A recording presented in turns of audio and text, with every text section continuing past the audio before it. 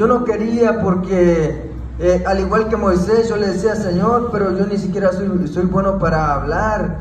Eh, este, ese gigante estaba ahí de pie, ese gigante se oponía, se oponía para esta obra, para que no fuera levantada. Pero también yo sabía, Señor, si tú llamaste, tú también vas a capacitar. Y aunque al principio vemos al gigante ahí parado, lo vemos grande, porque hay gigantes que son grandes, al menos eh, eh, cada uno tiene su propio gigante y cada uno sabe qué tan grande es y qué tan difícil es de vencer con su propia fuerza. Para mí era algo grande, era un gigante grande, pero yo dije, Señor, si tú has enviado, tú también vas a capacitar, Señor. Así que simplemente vamos adelante y aunque en un principio en un principio, eh, eh, le, voy a contar este testimonio, a veces yo eh, pasaba estudiando la palabra de Dios porque yo quería pues, pues dar un buen mensaje, pero cuando yo la estudiaba se me venían muchas cosas a mi mente, pero una vez estaba ya parado allá, ya todo se me iba, se me, se me se me olvidaba, pero era el mismo nerviosismo, el mismo temor que, yo tenía. Era ese gigante que estaba ahí eh, levantado, que no me quería dejar avanzar. Pero lo único que hay que hacer es seguir clamando al Señor, seguir eh, confiando en Él, seguir, creyendo que Él va a capacitar. Y ahora no es que yo sea un gran predicador, pero para la gloria de Dios ya puedo estar acá enfrente eh, con ese gigante derribado. Amén. Amén. Y, yo, yo esto yo sé por qué yo se lo digo, porque yo sé cómo era mi gigante. Tal vez cada uno de ustedes sabe cómo es su gigante. Sabe qué es aquello con lo que usted está luchando. Cada uno de ustedes sabe qué tan grande es y qué tan armado viene. Muchas veces, eh, muchas veces ese gigante no es derribado porque nosotros mismos le huimos. Nosotros no decidimos no enfrentarlo. Hacemos como hacía el pueblo de Israel cuando lo veía venir. Cuando el pueblo de Israel venía, eh, veía venir al gigante, todos corrían, Dice la palabra de Dios que, todo, que Saúl el rey, tanto el rey como todo el pueblo, se llenaban de espanto, se llenaban de miedo al ver al gigante. ¿Por qué? Porque ninguno de ellos tenía su confianza. Ese gigante lo venció y por eso fue que no lo hizo, porque no, no, pudo, eh, no pudo este, dejarle de dar a su estómago lo que le pedía para enfocarse en ayunar para el Señor. Pero eh, yo en mi caso, en lo personal, ¿sabe por qué lo hice? Porque eso es lo que el Señor nos ha mandado desde, desde que vemos nosotros eh, como lo que hacían los primeros discípulos de Cristo, que ellos, la vida cristiana que ellos llevaban era de ayuno y oración. Y eso ya es nuestro, debe ser nuestro estilo de vida, ayuno y oración, porque es lo que eh, pues el Señor nos ha mandado. Pero yo en lo personal, como yo quiero acabar mi carrera con gozo, eh, yo sé que nos falta mucho, pero tenemos que esforzarnos si realmente queremos acabar esta carrera con gozo. Cada uno de nosotros está aquí porque quiere alcanzar la victoria. Y la victoria es un día entrar allá por las puertas en la ciudad, en la nueva Jerusalén. Yo estoy aquí porque yo eh, por, la, por lo que dice la palabra de Dios, yo quiero alcanzar mi premio. Usted también esfuércese por alcanzar el suyo. Yo me gozo cuando leo ese pasaje que dice que los que enseñan la justicia a la multitud resplandecerán como las estrellas a perpetua eternidad. Yo quiero alcanzar ese premio y yo por eso trato de esforzarme. Sabemos que nadie es perfecto y todos cojeamos de algún lado. Pero es necesario derribar los gigantes. Es de lo demás el Señor se iba a encargar. eh, nosotros podemos ver cómo el Señor eh, ha derribado muchos gigantes eh, en toda la historia. Vemos cómo el pueblo de Israel acabó con los gigantes desde que iban entrando a la tierra prometida. Fueron derribando gigantes, fueron derribando pues esa oposición que había para poder ingresar a la tierra a la cual el Señor le había prometido a su pueblo. Amén, así que cada uno de nosotros solo basta, solo basta que confiemos en Él, que creamos en el Señor. Eh, muchas veces nuestro gigante puede ser la mala economía.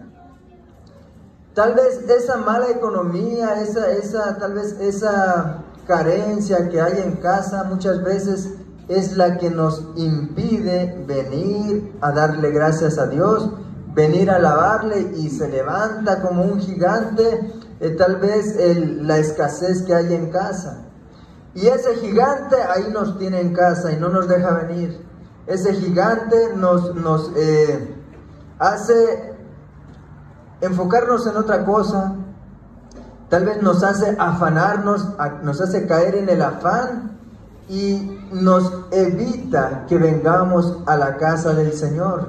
Muchas veces ese es nuestro gigante con el cual luchamos. Ese también fue mi caso en algún momento. Fue mi caso porque muchas veces yo decía, eh, porque recuerdo que nosotros íbamos, donde nos congregábamos, eh, tenían tres cultos a la semana y aparte teníamos una célula.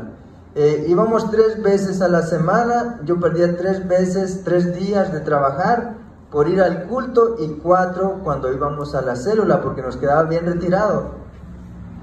Y entonces empezó a venir la escasez y yo mismo meditaba, razonaba yo mismo, yo decía, pero ¿y cómo vamos a tener dinero si solo trabajo tres días a la semana y todo lo demás?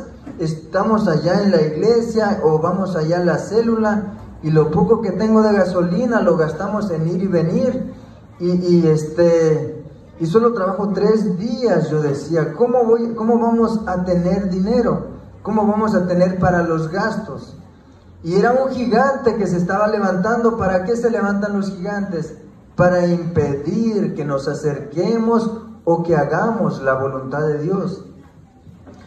Y viene también la duda, empieza uno a dudar, empieza uno a dudar eh, de la misma palabra de Dios porque eh, yo recuerdo que yo leía esa palabra que dice, buscad primeramente el reino de Dios y su justicia y todo os será añadido.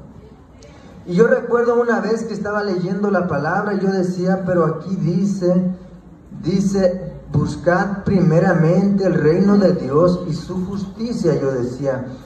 Aquí dice en la palabra de Dios, buscad primeramente el reino de, Dios y su justicia y todo vendrá por añadidura, pero estábamos viendo lo contrario en la casa. Estábamos viendo que realmente no estaba llegando esa añadidura. A pesar de que prácticamente estábamos más tiempo allá en la iglesia que que lo que ya estábamos dedicando a, las actividades eh, seculares como el trabajo. Y entonces yo decía, pero dice esto y esto es palabra de Dios. Yo mismo me trataba de convencer, yo decía, de no dudar, porque yo decía, pero esto es palabra de Dios. Pero si Dios dice así, ¿por qué? ¿Por qué entonces no estamos viendo esto? Eh, pero yo decía, esto es verdad, esto es así. Y entonces eh, muchas veces fallaba de ir a la iglesia por irme a trabajar, pero después me arrepentía y nos íbamos a la iglesia.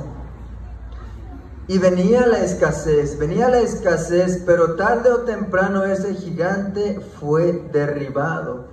Tarde o temprano el Señor mostrará su gloria. Tarde o temprano el Señor le mostrará que Él es fiel a su palabra. Él es fiel a su palabra.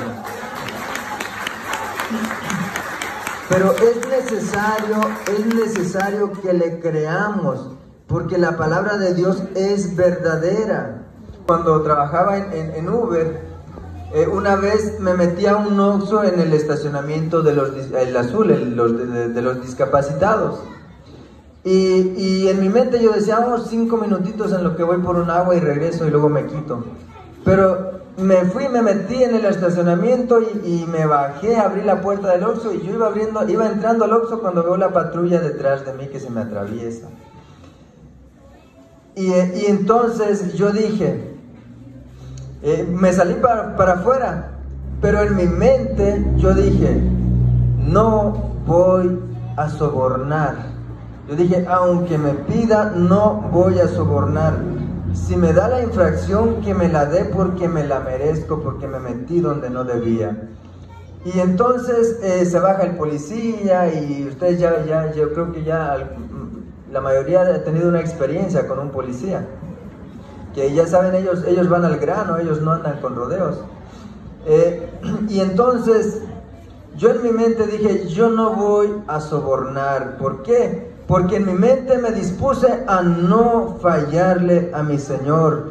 Yo dije, no voy a sobornar porque soy culpable. Yo me metí donde no debía. Y si me da la infracción y, y, que me la dé, yo dije, la voy y la pago, pero es mi culpa porque me metí donde no debía. Pero a la vez yo le estaba orando al Señor, Señor, Señor, yo, yo reconozco, Señor, yo reconozco que yo me metí donde no debía. Señor, yo reconozco este que pues que hice mal, pero yo ahí estaba reconociendo delante del Señor, pidiéndole perdón y Señor, hágase tu voluntad, yo le dije. Si me van a infraccionar, pues amén, Señor, pues yo lo voy a pagar.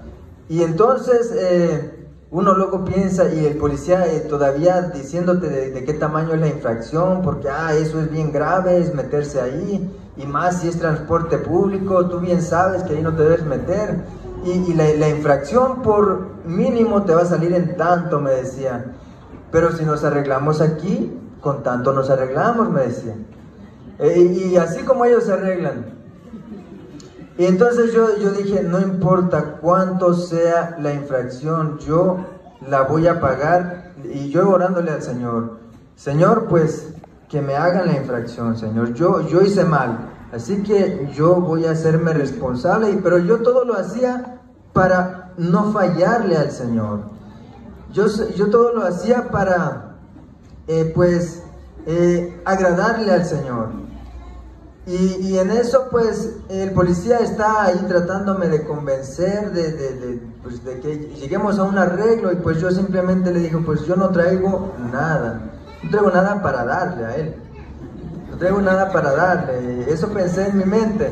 Yo, a, él, a él solo le dije no, yo no traigo nada, pero en mi mente dije para darle a usted. Entonces él se fue, se iba y hablaba con el otro que iba con él y yo escuchaba lo que decían, decía, no, dice que no trae nada, ¿qué hacemos? Y, ahí estaba y después viene otra vez y este y me quiere todavía sacar algo. Eh, entonces no, no trae nada, me dice. Pues traigo unas monedas, pero ¿qué ¿qué es eso? Le digo, eso no es nada, le digo.